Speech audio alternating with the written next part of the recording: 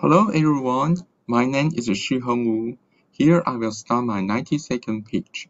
Our system is a BERT-based two-stage fake news spreader profiling system. As the name suggests, at the first stage, we will use a classifier to classify if the tweets are fake news or not.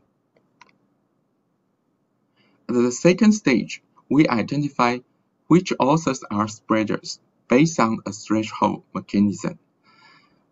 Our assumption is an author is a spreader if more than 74% of the author's tweets was classified as fake news.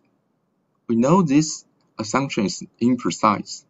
The classifier cannot spot fake news very well, so we need to use it to spot a spread. We set a threshold mechanism to prevent overly identifying too many authors as spreaders. During our system development process, we tried uh, various kinds of uh, thresholds, and we find that 74% give the best accuracy, about 0.71. However, at the formal test result, our system only scored 0.56. That's all. Thank you.